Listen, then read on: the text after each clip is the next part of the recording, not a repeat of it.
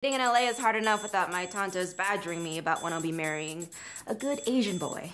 And do you have any preferences for your date? Huh? I don't know. Tall, dark, and handsome. Oh. oh, you are packing. Uh, thanks. Sylvie!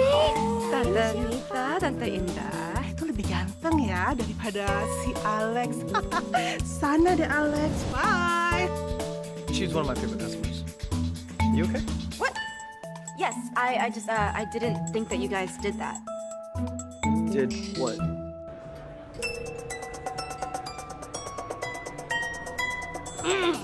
God,